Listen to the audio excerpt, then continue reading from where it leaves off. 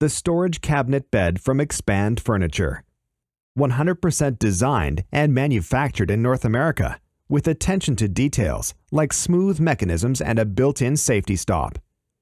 This cabinet quickly transforms into a bed.